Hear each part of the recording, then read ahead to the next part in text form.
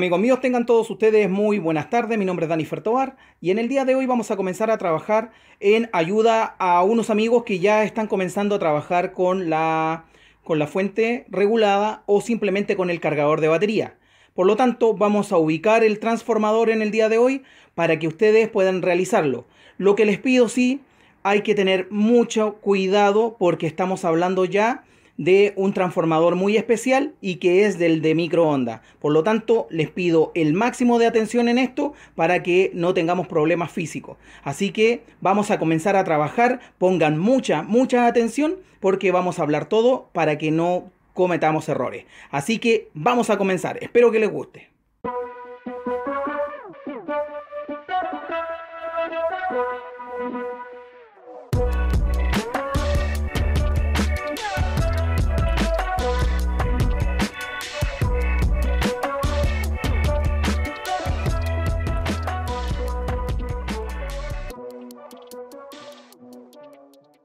Iniciando les mostré la caja que habíamos fabricado para colocar este equipo al interior. Como ya pueden darse cuenta, es un equipo bastante grande. Este es, una, eh, es un transformador de microondas. No lo conecten, no se les ocurra hacerlo sin que yo les esté indicando las partes importantes. Estos cables que ven acá es para prender la parte de la luminosidad, pero están aterrizados a su carcasa. Si ustedes tocan esta parte van a tener una descarga. Así que por favor les pido mucha atención porque aquí sí que es un perjuicio físico muy grande. Así que eh, hay que tener mucho cuidado, no lo conecten. Simplemente lo que vamos a hacer es sacar la parte del alto voltaje, que en este caso vamos a acercarnos. Voy a ponerme la luz. Ahí. En este caso es la más delgada. ¿Ya? El filamento más delgado es, eh, el alambre más delgado es el alto voltaje. Acá nosotros lo que estamos haciendo es conectar 220 volt o 110, depende del país, y los estamos elevando eh, según lo que diga eh, las especificaciones del lugar donde lo sacamos. Acá no lo está indicando, pero más o menos es eso lo que ustedes van a poder aumentar. De hecho, tiene un indicativo que dice alto voltaje. Ahí alto voltaje, peligro. Esto, lo que le estoy indicando en este instante, es la atención. No lo vamos a conectar. Este es al revés. Recuerden que hablábamos de los elevadores. Bueno, este es un transformador elevador, donde tomamos 220 volt en esta espira y elevamos el voltaje, eh, multiplicándolo las veces que estime conveniente el fabricante. Así que fíjense acá, Nuevamente, otro indicativo. ¿Por qué tanto indicativo? Dice alto voltaje. ¿Se dan cuenta? Tengan cuidado para que no cometamos errores y podamos trabajar de buena forma. Perfecto. Entonces, lo más importante es que nosotros vamos a necesitar un cable de más o menos unos 7 metros eh, de largo con un RO de 4 milímetros de espesor el cable, digamos, no, no su funda, sino que el cable en el interior, 4 milímetros a 7 a 6 milímetros. De 4 a 6 estaría bastante bien. Y lo vamos a enrollar en esta parte, como lo pueden ver acá, vamos a sacar el primario, el secundario, que es este, que es el más delgado. Como se van a dar cuenta simplemente por el grosor del cable. El más grueso es la entrada. Acá está la entrada y la salida es la que tenemos aquí con su diámetro del cable mucho más pequeño. ¿Pueden verlo ahí? Ahí está. Este diámetro, el ro del, del alambre, es mucho más pequeño. Por lo tanto, lo vamos a sacar y vamos a sustituirlo. ¿Por qué? Por un cable de, eh, de 4 a 6 milímetros de espesor, de diámetro, esto lo vamos a sacar con mucho cuidado, con sierra, sin dañar esta parte. Por lo tanto, vamos a cortar por los lados con mucho cuidado. Yo voy a ocupar una sierra pequeña que tengo. Ustedes si quieren con sierra de acero, la sierra, eh, la sierra metálica, eh, sería bastante bueno, pero con mucho cuidado, amigos míos, porque si no van a echar a perder este lindo equipo. Entonces, lo que vamos a hacer es en un enrollado con un diámetro de el ro del cable, digamos de la parte interior, no de la funda, así que ojo con eso, de entre 4 a 6 milímetros de espesor. Así que, ¿cómo lo vamos a hacer de manera técnica? O sea, de manera empírica, para que podamos hacerlo de manera fácil y ustedes puedan comprenderlo. ¿Qué vamos a hacer? Simplemente cada vuelta que nosotros demos con este cable es aproximadamente entre 500 y 600 milivolt. Por lo tanto, cada vuelta nos va a entregar ese voltaje, lo cual se va a ir sumando, sumando, sumando, hasta que alcancemos los, el voltaje deseado. En este caso, amigos míos, eh, el voltaje va a aumentar aproximadamente a los 15, 16, 17 volts que nosotros le demos a este espiral. ¿ya? Esto es para el cargador de batería. Así que ojo con eso. Para el cargador vamos a necesitar unos 7 metros de largo. Para sacarle un voltaje mayor vamos a necesitar un RO de 4 milímetros y una cantidad de vueltas mayor que más o menos vamos a alcanzar si es que podemos ingresarle unas 20 vueltas. Vamos a llegar a los 23 volt, 24 volt y con eso es suficiente para tener un transformador con alto amperaje, que en este caso vamos a hacer entre 4 o 5 amperes, y eh, un embobinado que va a llegar al, a los 24, 25 volt, todo depende eh, el ingreso de todo nuestro cable. Ya les dije, para el cargador de batería, unos 7 metros. Para nuestra fuente regulada de, de amperaje entre 4 o 5 amperes, vamos a necesitar un cable mayor del RO de 4 milímetros de espesor. Podemos colocar el de 6, pero no va a caber todas las vueltas, así que ojo con eso. Listo, amigos míos. Comenzamos a trabajar con esto, ya lo saben. Vamos a cortar toda esta pieza, vamos a ingresarle el cable que vamos a utilizar. De hecho, se los voy a buscar de inmediato.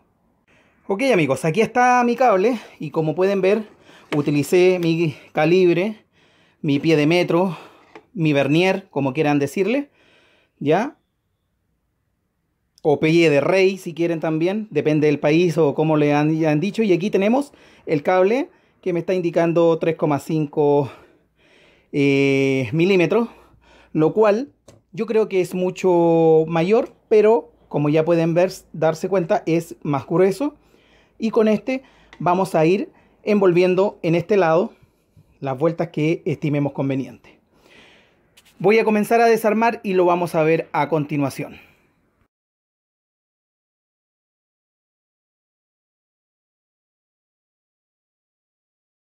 Una cosa más se me había olvidado para que no cometan el error de conectar. Fíjense lo que les voy a mostrar. En esta parte de abajo, ahí, señores, está el cable. A ver si lo pueden ver. Está el cable que está aterrizado al chasis. Así que este cable es el que, en este caso, si ustedes conectan y que yo por algo le estoy diciendo y se lo repito una y otra vez, no conecten hasta que saquemos este embobinado. Luego de sacarlo no va a pasar nada, no nos va a dar la corriente, nada, nada, nada. Pero si lo dejamos y tocamos la carcasa, vamos a tener una descarga que nos puede producir la muerte. Así que, ojo con eso, esto es corriente alterna, alto voltaje, así que no conecten hasta que no realicemos los trabajos. Perfecto, lo he repetido una y otra vez para que los amigos no cometan errores. Me pidieron que eh, trabajáramos en un cargador de batería o una fuente regulada arriba de 4 amperes. Bueno, acá lo tenemos y es por eso que le estoy pidiendo mucha atención porque esto puede producir la muerte. Así que cuidado con esto.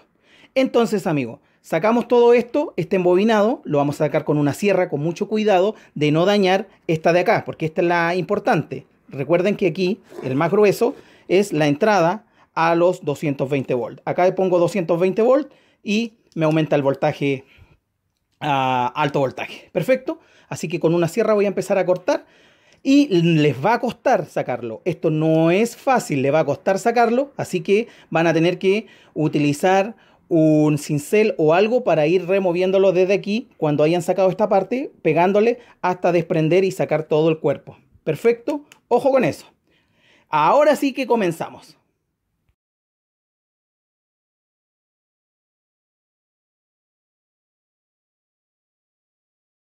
Ok amigos, voy a ocupar la mordaza para poder, ahí está, para poder fijar esta pieza y como ya les dije, miren la, la fineza que tiene el cable en este lado, y acá podemos ver la diferencia, ¿ya?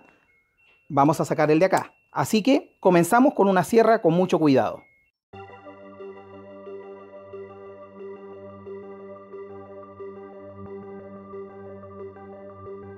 Etapa estoy utilizando esta sierra que es de mano, con mucho cuidado estoy haciendo el desgaste, el corte, ¿ya? Para que poder, poder sacarlo y no dañar el de abajo. Así que continuamos.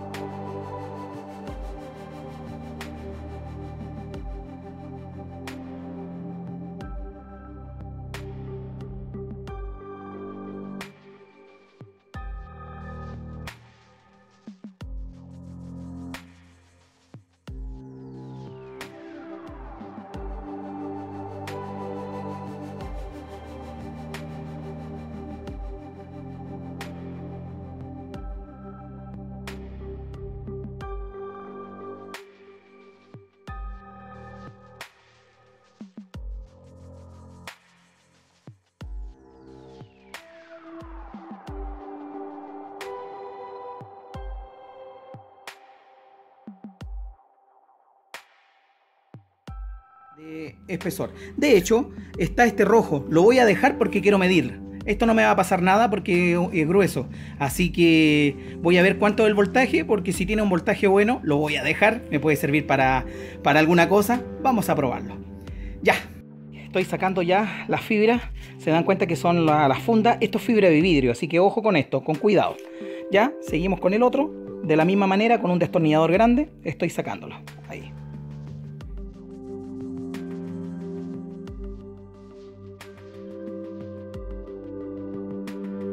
Amigos, ya nos encontramos en la mesa de trabajo.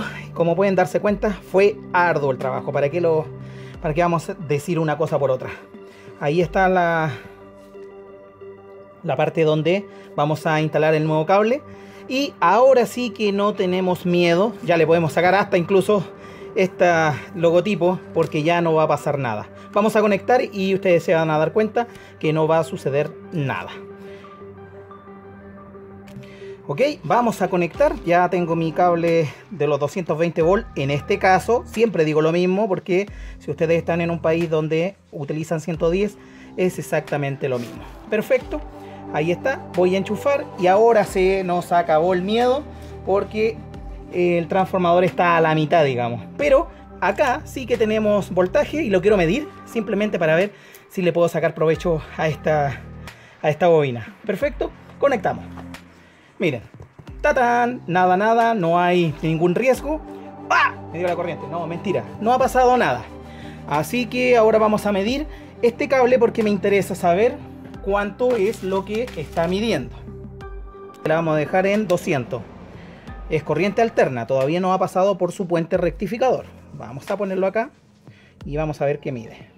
Ok, miren, estoy tocando y ya no da la corriente, está pasando los 220 volts por la primera bobina todo tranquilo, ya no hay que tener miedo. Y me está marcando 2.8.